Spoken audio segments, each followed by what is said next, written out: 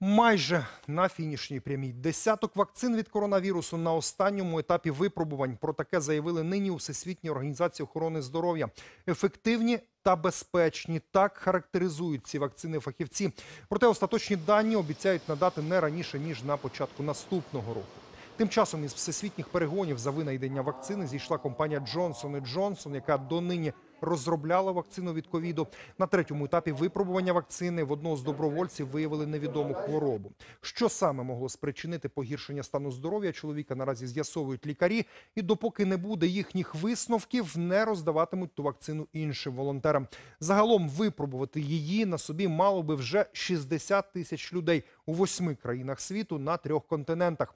На сьогодні загалом на планеті, якщо знаєте, зареєстровано 38 мільйонів випадків зараження ковідом COVID-19.